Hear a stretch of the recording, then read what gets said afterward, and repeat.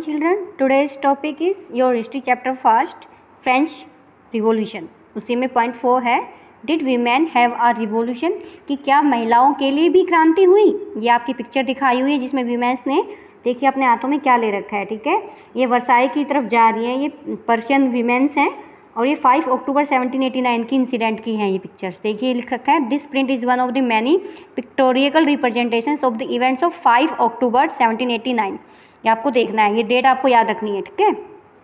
Now from the very beginning women were active participant in the events which brought about so many important changes in the French society देखिए women starting से ही Francis society में, जो French society है फ्रांसीसी समाज में एक इम्पोर्टेंट चेंज लाने वाली जितनी भी एक्टिविटीज़ है, उसमें एक्टिव पार्टिसिपेंट में शामिल थी। Very beginning it mean starting से ही वीमेन ने एक्टिव पार्टिसिपेशन किया इवेंट्स के अंदर।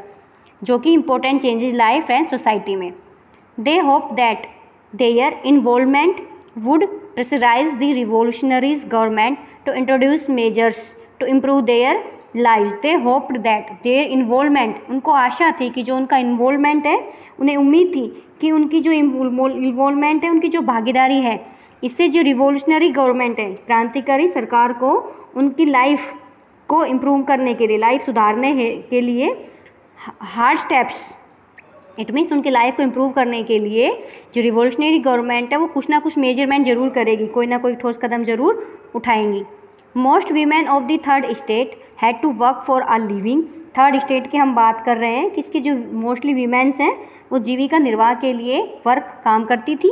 अब क्या काम करती थी देखिए they work as seamstresses और laundries sold flowers fruits and vegetables at the market और we were employed as a domestic servants in the houses of prosperous people देखिए, अभी हमने पढ़ा कि जो थर्ड स्टेज की वीमेंस हैं, वो जीविका निर्वाह के लिए वर्क करती थी। अब वो देखिए क्या करती थी। सीम स्ट्रेसेस सिलाई बुनाई करती थी। लॉन्ड्री लॉन ड्रेसेस जो ड्रेसेस जो उसको धुलाई करते हैं ना। सिलाई बुनाई का काम लॉन्ड्रीज कपड़ों की धुलाई करती थी। सोल्ड फ्लावर्स फल और जो सब्ज़ियाँ हैं, उनको बेचती थी बाज़ारों में। और जो प्रोस्पिरस घर इट मीन जो समृद्ध लोग हैं, उनके घरों में डोमेस्टिक घरेलू काम करती थी। Most women did not have access to education और जॉब ट्रेनिंग मोस्टली वीमेंस के पास एजुकेशन पढ़ाई लिखाई नहीं थी और जॉब के लिए उनकी जो ट्रेनिंग होती है, उनके मौके उन्हें नहीं मिले थे। इट मीन्स उनको कोई ट्रेनिंग नहीं दी जाती थी और ना ही एजुकेशन तक उनकी पहुँच असेस होती थी। ओनली डॉटर्स ऑफ़ नोबल्स और wealthier members of the third state could study at a convent after which their families arrange a marriage for them only daughters of nobles केवल नोबल्स जो कुलीनों की लड़कियाँ हैं, या जो थर्ड स्टेट के जो वेल्दी परिवार हैं, जो धनी परिवार हैं, उनकी ही लड़कियाँ ही कॉन्वेंट में पढ़ने working women had also to care for their families that is fetch water queue up for bread and look after the children कौन, देखिए, जो वर्किंग वीमेंस है जो कामकाजी महिलाएँ उनको अपने परिवार को अरेंज इट मीन्स पालन पोषण केयर फॉर केयर होता है देखभाल करना भी, देखभाल भी करनी पड़ती थी, अपनी फैमिलीज़ को काम भी कर रही हैं वो प्लस में अपनी फैमिलीज़ की केयर भी कर रही हैं। कुक खाना पकाना फैच वाटर पानी लाना queue up for bread bread के लिए पाव रोटी के लिए लाइन में खड़े होना and look after the children और बच्चों की देखभाल करना, ये काम भी इन्हें करने पड़ते थे। Their wages were lower than those of men. अब देखिए, उनकी जो वेजेस थी, उनकी मजदूरी थी, वो मैन की तुलना में बहुत ही लोअर कम थी। In order to discuss and voice their interest women started their own political clubs and newspapers women's ने अपने हितों के लिए discuss and voice their interest अपनी रुचि के लिए, अपने हितों के लिए डिस्कस किया। करने के लिए own political clubs and newspapers खुद के। इट मीन्स अपने हितों की हिमायत करने के लिए और उन पर चर्चा करने के लिए। खुद के पॉलिटिकल क्लब शुरू किए और न्यूज़पेपर्स निकाले। About sixty women's clubs came up in different French cities France के डिफरेंट सिटी वीमेंस सामने आए।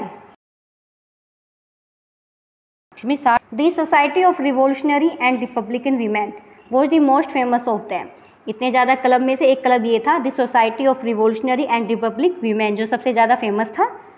Women was the most famous of them जो वीमेंस थी इनकी मोस्ट फ़ेमस ऑफ़ दैम इनमें से एक था। वन ऑफ़ द ईयर इनमें से एक main demand it means the revolution the society of revolutionary and republic women जो क्लब है, इसकी मेन डिमांड क्या थी? ये थी कि women enjoy the same political rights as men कि महिलाओं को पुरुषों के समान राजनीतिक अधिकार प्राप्त होने चाहिए ये मेन डिमांड थी इस क्लब की। Women are dis were disappointed that the constitution of seventy two passive citizen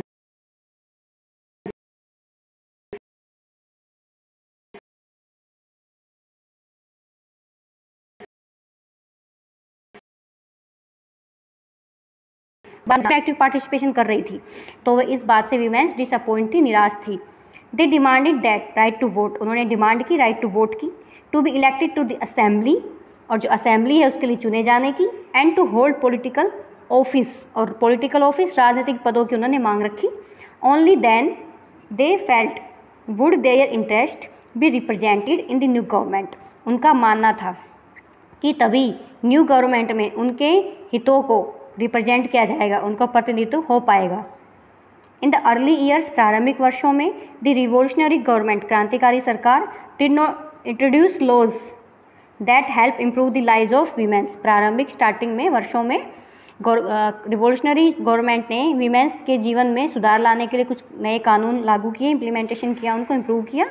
Together with the creation of state schools schooling was made compulsory for all girls देखिए, गवर्नमेंट स्कूल्स की establishing स्थापना के साथ साथ ही सभी लड़कियों के लिए, गर्ल्स के लिए, स्कूल एजुकेशन को भी क्या कर दिया गया कंपलसरी, अनिवार्य इट मीन सभी लड़कियों के लिए स्कूली शिक्षा को अनिवार्य बना दिया गया था। ये कुछ कानून में सुधार हुआ था।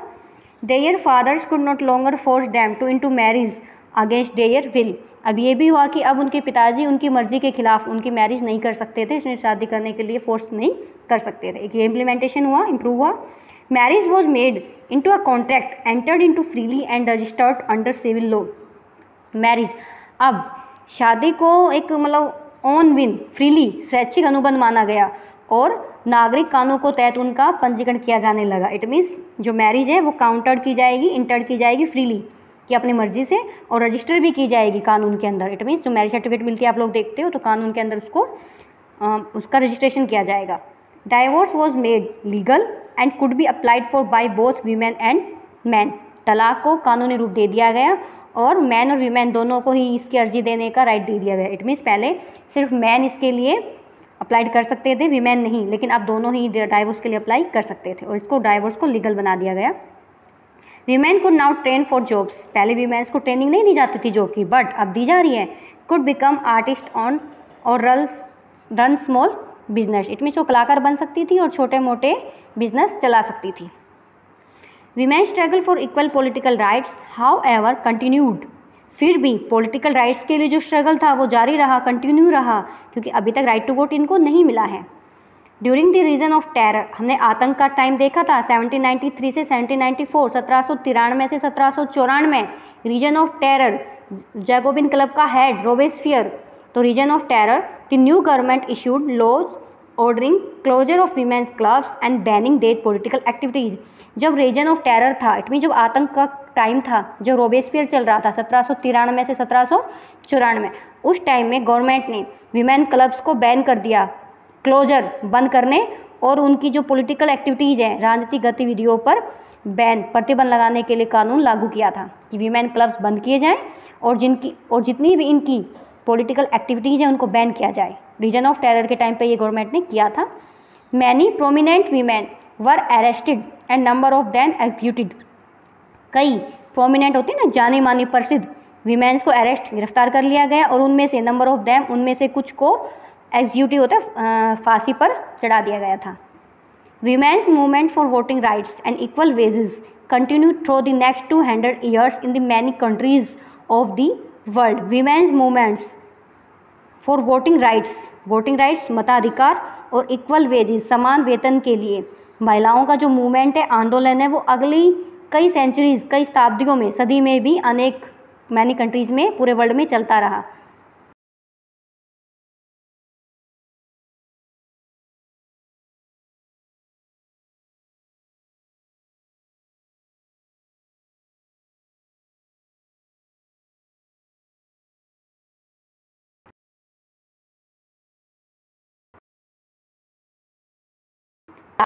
अंतर्राष्ट्रीय मताधिकार कंट्रीज़ में चल रहा था। The example of the political activities of French women during the revolutionary years was kept alive as an inspiring memory the example of political activities देखिए, क्रांतिकारी आंदोलन के दौरान जो फ्रांसीसी महिलाएँ हैं, उनकी जो राजनीतिक पॉलिटिकल एक्टिविटीज़ हैं, गतिविधियाँ हैं, इनको एक इंस्पायरिंग मेमोरी प्रेरक स्मृति के रूप में ज़िंदा रखा गया। इट मीन जो भी इन्होंने किया, उनको एक एज एग्ज़ाम्पल उनकी एक्टिविटीज़ को इंस्पायरिंग मेमोरी के रूप में रखा गया। It was finally in the 1946 that women in France won the right to vote इस लाइन को अंडरलाइन करें। कि 1946 में लास्ट में महिलाओं को राइट टू वोट मिल गया। कब मिला? 1946 में। कहाँ पे? फ्रांस में। ये देखिए क्रांतिकारी विमेन है। ओलम दे गूंज इसके लाइफ के बारे में कुछ बताया गया है, आपको ये पढ़ना है कि क्रांतिकारी फ्रांस की जो पॉलिटिकल एक्टिविटीज़ में ये एक एक्टिव पार्टिसिपेंट में सबसे इम्पोर्टेंट थी। इन्होंने एक बुक लिखी थी। आपको उसको अंडरलाइन करना है। कौन सी लिखी थी? ये देखी है कि declaration of rights for man and citizens पुरुष और नागरिक अधिकार घोषणा पत्र का इन्होंने विरोध किया था, क्योंकि उसमें जो वीमेंस को मानव मात्र के जो फंडामेंटल राइट्स है, उनसे डिप्रीव किया गया था, वंचित रखा गया था। तो इन्होंने सत्रह सौ इक्यानवे में महिला एक नागरिक अधिकार घोषणा पत्र तैयार किया, जिसे महारानी और नेशनल असेंबली के सदस्यों ने पास, यह मांग करते हुए भेजा उनके पास कि इस पर कार्रवाई की जाए। और 1793 में ओलंपिक गुंज ने महिला क्लबों को और उन पर नेशनल कन्वेंशन द्वारा देशद्रोह का ट्रीजन का मुकदमा भी चलाया गया था और उनके बाद इनको फांसी पर लटका दिया गया था। तो ये आपको याद रखना है। ठीक है? कि औरत जन्म से ही फ्री है और उसके जो इक्वल रहे वो राइट्स जो हैं, वो मैंस के समान है, ये सब आपको याद करना है। द गोल ऑफ़ और political association is the presentation ठीक है? ये आपको देखना है। यहाँ पे जैकोबिन पॉलिटिशियन दिखा रखा है, सत्रह सौ तिरानवे में। जैकोबिन राजनीतिक शोमेत ने इन आधारों पर महिला क्लबों को बंद करने का निर्णय किया था, ये देखिए। ठीक है? Has nature interested domestic duties to man has given us breasts to nurture babies देखिए, जो जैकोबिन राजनीतिज्ञ थे शोमेत ने, इन्होंने कहा कि इनको बंद कराया जाए। तो उन्होंने कैसे, क्या कहा कि क्या नेचर नेचर ने घरेलू कार्य पुरुषों को सौंपा? इट मीन्स वो डिस्क्रिमिनेशन कर रहे हैं, यहाँ पे बता रहे हैं कि जो डोमेस्टिक काम है, वो तो लेडीज़ ही करती हैं। क्या प्रगति ने बच्चों को जो दूध breast to nurture babies babies को जो दूध पिलाने के लिए हमें बोला है?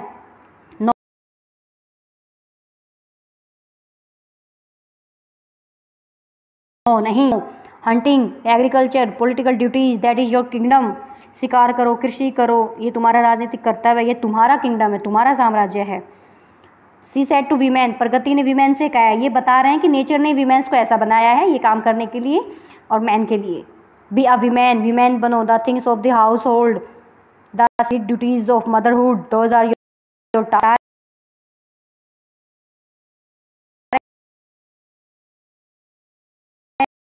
task duties been fairly distributed. पुरुष बनने एक विषय उसके लिए आपको शेमलेस होना चाहिए। क्या आप अपनी ज़िम्मेदारी का नहीं चुका है? मतलब कह रहे हैं ये काम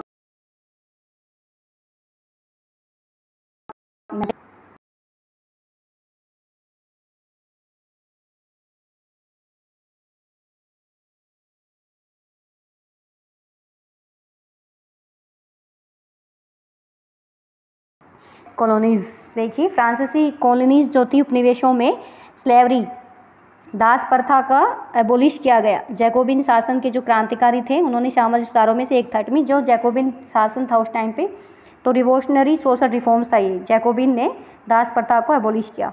The colonies in the Caribbean colonies थी जो कैरेबियन और सैन डोमिगो ये तीन कॉलोनीज दिखा रखी हैं मोटिनिक गोडेलो और San Domingo were important suppliers of commodities ये देखिए इम्पोर्टेंट सप्लायर्स थे किन किन के? तंबाकू इंडिगो इंडिगो होता है नील शुगर चीनी एंड कॉफ़ी जैसी वस्तुओं के ये commodities suppliers of commodities it means ये इन वस्तुओं के। ये जो तीन उपनिवेश हैं मोडर्निक गोटेलोप और सैंट डोमिगो ये तंबाकू, नील, चीनी और कॉफ़ी जैसी वस्तुओं के इम्पोर्टेंट सप्लायर्स थे, आपूर्तिकर्ता थे, ठीक है? But the reluctance of Europeans to go and work in distant and unfamiliar lands mean a shortage of labour on the plantations लेकिन देखिए but the reluctance of Europeans to go and work in distant ये कह रहे हैं रेलुकेंट होता है, अपरिचित, और डिस्टेंट दूर के देश जाने। मतलब दूर देश जाने और वर्क काम करने के लिए जो यूरोपियनों की अनफेमिलियर जो अनिच्छा का मतलब था इट मीन्स अनफेमिलियर अपरिचित थे। अपरिचित और दूर देश जाने और काम करने के लिए यूरोपियनों की विश नहीं होती थी। उसका मतलब था कि बागानों में श्रम की कमी। या अपरिचित होते थे और दूर देश जाने के लिए तैयार नहीं होते थे। तो इससे जो प्लांटेशंस थे, उनमें लेबर की क्या हो गई? शॉर्टेज हो गई। बिकॉज़ ये दूर और अपरिचित देशों में नहीं जाना चाह रहे थे labour so this was made by a triangular slave trade underline करेंगे इसको. Triangular slave trade between Europe Africa and the America इसको आप अंडरलाइन करेंगे. इस अब जो कमी हुई है, जो शॉर्टेज हुई है उसको पूरा करने के लिए यूरोप अफ्रीका और अमेरिका के बीच में ट्राई एंगुलर त्रिकोणीय स्लैब ट्रेड दास व्यापार द्वारा पूरा किया गया। इट मीन्स अमेरिका अफ्रीका वालों को ला रहे थे। हमने अभी पढ़ा था थोड़ी देर पहले, ठीक है? This slave trade began in the seventeen century. इसको भी अंडरलाइन करें। कि स्लैब ट्रेड कब स्टार्ट हुआ? सेवनटीन सेंचुरी में स्टार्ट हुआ। French merchants sailed from the ports of Bordeaux और Nantes to the African coast where they bought slaves from local chieftains आप इसको ड्राइंग करें कि फ्रांसीसी जो मर्चेंट्स सौदागर थे, वो बोर्दे या नानते जो बंदरगाह हैं दोनों, ये बोर्ड एक्सपोर्ट और नानते पोर्ट है, ये बंदरगाह हैं, जो अफ्रीका के तट पर है। तो इट मीन्स फ्रांसीसी मर्चेंट्स बोर्दे या नानते पोर्ट से अफ्रीका तट पर जहाज़ ले जाते थे, जहाँ से वे chieftains, local chieftains, local लोग हैं स्थानीय चीफ टेंस सरदार, स्थानीय सरदारों से क्या खरीदते थे? स्लैब, दास खरीदते थे अफ्रीका जाके। Branded and shackled the slaves were packed tightly into ships for the three month long voyage across the Atlantic to the Caribbean देखिए, दासों को ब्रांडेड एंड सैकल्ड होता है ना कि ब्रांड दाग कर और सैकल्ड हथकड़ियों में बाँध करके इट मीन्स उनको दाग दिया जाता था मतलब एक निशान लगा दिया जाता था और हथकड़ियों में डालकर अटलांटिक ओशियन के पार जो करेबियन देश थे, वहाँ तक तीन महीने की लंबी समुद्री यात्रा के लिए जहाज़ों में ठूस ठूस दिया जाता था। इट मीन्स तीन महीने की यात्रा है कैरेबियन देशों तक जाएँगे, ये तीन महीने की लंबी यात्रा है। उनको निशान लगाएँगे, हथकड़ियों में बांटेंगे और अटलांटिक ओशियन के पार ले जाते थे, उनको इतनी बुरी तरह से। जहाज़ों में ठूस ठूस कर। They were their they were sold to plantation owners अब उनको पकड़ के ले जाया गया तो वहाँ उन्हें जो प्लांटेशन व ओनर्स थे, जो बागान के मालिक थे, उनको सोल्ड बेच दिया जाता था। The exploitation of slave labour made it possible to meet the growing demand in European for sugar coffee and indigo अब जो लेबर फोर्स है, जो श्रम श्रम के बल पर फोर्स के बल पर यूरोपीय मार्केट्स में। चीनी कॉफ़ी और इंडोको की जो मांग बढ़ रही थी, उसको पूरा करना संभव हुआ। क्योंकि वहाँ पे काम उनको मिल नहीं रहा था तो अफ्रीका जाएँ, अफ्रीका से स्लैब लेके आ रहे थे ये लोग और वहाँ को प्लांटेशन में उनसे काम करवा रहे थे, बहुत ही कम वेजेस में। तो जो लेबर की शॉर्टेज हुई थी, वो उनको इन्होंने कंप्लीट कर लिया अफ्रीका से स्लैब लेकर के। Port cities like बॉन्डे and Nantes on the economic prosperity to the flourishing slave trade अभी हमने दो पोर्ट पढ़े थे, बोंदे और नानते। जैसे पोर्ट ये फ्लरिश फलते फूलते, दास व्यापार के कारण ये समृद्ध नगर बन गए। तो मीन्स ये दानते और बोंदे से एक स्लैब ट्रेड हो रहा था तो इसी वजह से वो इकोनॉमिक प्रॉस्पर्टी हो गई। फ्लैरिश हुआ उनका स्लैब ट्रेड की वजह से। Throughout the eighteen century there was little criticism of slavery in France अठारहवीं सदी में फ्रांस में दास प्रथा की थोड़ी बहुत क्रिटिसिज्म हुआ, उसकी निंदा की गई। The national assembly had long debates about whether the rights of man should be extended to all French subjects including those in the colonies national assembly में एक लॉन्ग डिबेट हुई, बहस हुई डिस्कशन हुआ कि इंडिविजुअल मैन के जो individual जो फंडामेंटल राइट है, मूलभूत अधिकार हैं, जो कॉलोनीज उपनिवेशों में रहने वाली जो प्रजा है, उसके साथ साथ फ्रांसीसी प्रजा को प्रदान किए जाएँ या नहीं? इट मीन्स नेशनल असेंबली में लॉन्ग लॉन्ग डिबेट्स होने लगी डिस्कशन हुआ कि जो राइट्स ऑफ़ मैन है, वो एक्सटेंड किए जाएँ पूरी फ्रेंच सब्जेक्ट्स को, जिसमें इंक्लूड है कॉलोनीज भी, उपनिवेश भी इंक्लूड है। But it do not pass any laws fearing opposition and from businessman whose incomes depend on this slave trade अभी वहाँ पे डिस्कशन हो रहा है, लेकिन दास व्यापार पर जो डिपेंड व्यापारियों के विरोध के वजह से, क्योंकि जो ट्रेड है it not pass any laws इस पर कोई कानून नहीं पास हो उसका। क्यों? फियरिंग ओपोजिशन कि अपोजिशन से डर रहे थे नेशनल असेंबली वाले, जो कि बिजनेसमैन होते थे वोज इनकम जिनकी इनकम डिपेंड होती थी स्लैब ट्रेड के ऊपर तो उनसे डर करके ये लॉज का पास नहीं हुआ। It was finally the convention which in the 1794 legislated to free all slaves in the French overseas positions देखिए लेकिन 1794 में कन्वेंशन में फ्रांसीसी कॉलोनीज में सभी दासों की मुक्ति का कानून पारित कर दिया गया।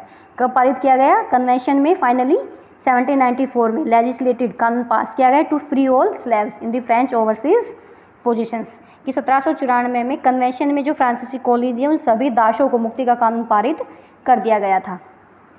This however turn out to be a short term measure ten years later Napoleon introduce slavery देखिए कि ये जो कानून है, ये शॉर्ट टर्म छोटी सी अवधि तक इम्प्लीमेंटेशन रह चुका है। इट शॉर्ट टर्म के लिए ये मेजर कानून बना, लागू रहा। दस वर्ष के बाद दस वर्ष के बाद कौन आया था? नेपोलियन 1804 में। ने, नेपोलियन ने वापस से स्लैब प्रथा को क्या? स्टार्ट कर दिया। ओके? नेपोलियन ने री रीइंट्रोड्यूस वापस से दास प्रथा शुरू कर दी। Plantation owners understood their freedom as including the right to enslave African negroes in pursuit of their economic interest जो बागान के ओनर्स थे मालिकों को अपने जो इकोनॉमिक उनके जो इकोनॉमिक वो हैं उनके हित इकोनॉमिक जो इंटरेस्ट है हित हैं उनके वो उनको कंप्लीट करने के लिए। अफ्रीकी जो निग्रो लोग हैं, उनको गुलाम बनाने की उनको स्वतंत्रता मिल गई थी। इट मीन्स प्लांटेशन वर्कर्स बगान मालिकों को अपने आर्थिक अच्छे करने के लिए अफ्रीकी निग्रो लोगों को गुलाम बनाने की एक फ्रीडम मिल गई थी क्यों कभी भी बना सकते हैं। Slavery was finally abolish in France colonies in 1848 underline this line कि फ्रांसीसी उपनिवेशों से अंतिम रूप से स्लेवरी को अबोलिश कर दिया गया कब? 1848 में। Okay okay? अब ये न्यू वर्ड दिया हुआ है कि निग्रो क्या था?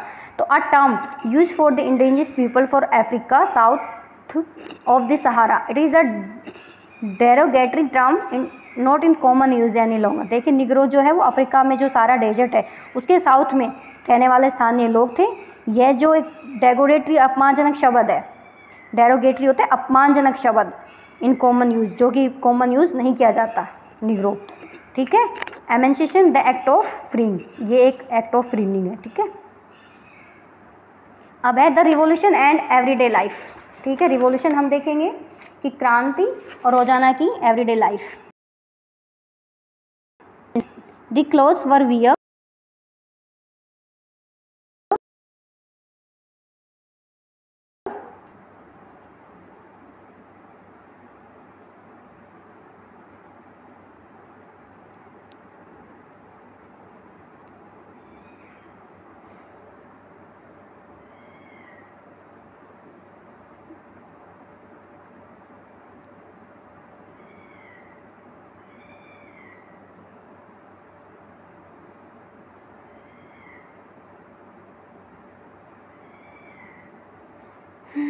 tenth भी टेंथ भी टेंथ भी टेंथ भी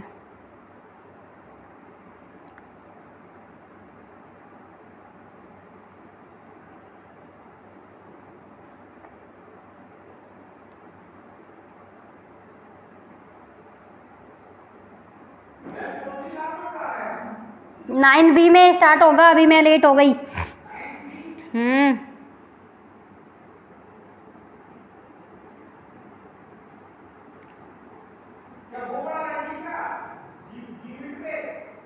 नहीं, वीडियो बना रही हूँ मैं, क्या बात? डाला नहीं है, बना रही हूँ सर, डाला नहीं है, बना नहीं कंप्लीट मेरा फ़ोन वो नहीं था ना डाटा नहीं था ना डाटा अपलोड किया है ना मैंने।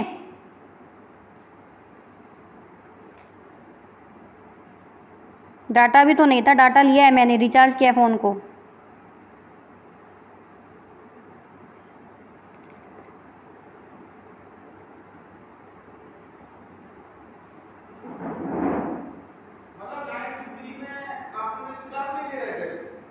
नहीं क्या हो गया? अरे पूछ रहे हैं। मैंने डाटा बंद कर रखा था ना मैं वीडियो बना रही थी। स्टार्ट तो कर दिया हम नहीं पूछेंगे। तो आप तो वीडियो हाँ। चालीस पचास मिनट का जाता है। कैसे? देख लो। मेरे में तो दो मिनट से ज़्यादा का जाता नहीं